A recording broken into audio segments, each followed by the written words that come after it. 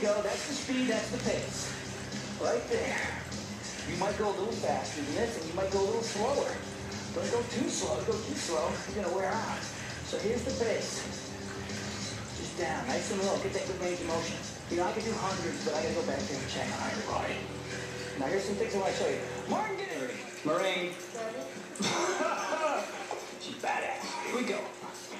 Everybody, and up, put down. Pull up, put them down. I have to stop working show stop. Flat back, all to the floor. Scott's got the bands.